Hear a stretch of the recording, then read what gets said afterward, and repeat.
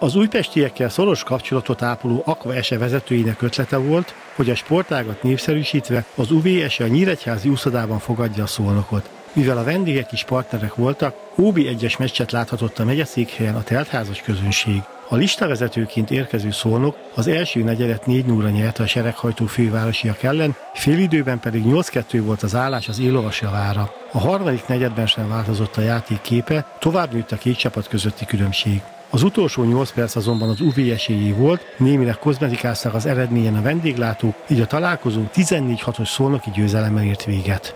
Nagyon örülök a három pontnak. Nagyjából azt megcsináltuk, amit szerettük volna, az negyedik negyedle, negyedet leszámítva.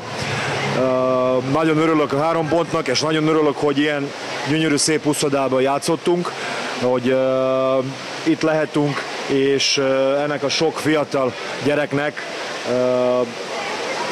csináltuk egy, egy, egy ilyen produkciót. Szerintem egy jó kis mérkőzés volt mind a két oldalról. Természetesen a kvalitás, kvalitásbeli különbség az kijött nagyon hamar, de attól függetlenül azt hiszem, hogy, hogy jó mérkőzést tudtunk játszani. A vendégek vezetőedzője a vereség ellenére is talált pozitívumokat csapata játékában.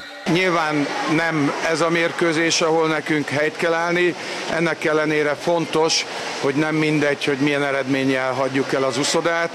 Szerettem volna 15 gólnál kevesebbet kapni, ahogy 10 nappal ezelőtt az OSC ellen is, sikerült, holott a harmadik negyed végén 13 gólnál nem gondoltam azt, hogy ez meg lehet, de nagy öröm, hogy sikerült.